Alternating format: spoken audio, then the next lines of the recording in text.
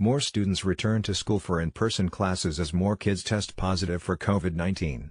To view the full article, click the first link in the description below.